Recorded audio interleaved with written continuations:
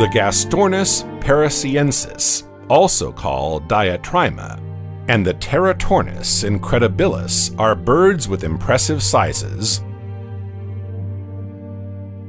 The Gastornis is the largest bird of its time, growing up to 2 meters or 7 feet for the largest specimens.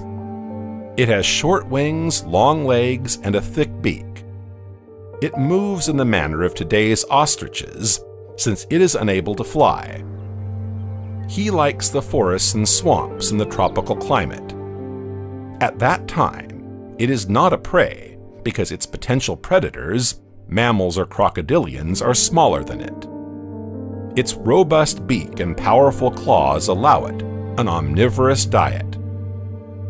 The Teratornis is nicknamed the monster bird. Its wingspan can reach up to 5 meters or 16 feet,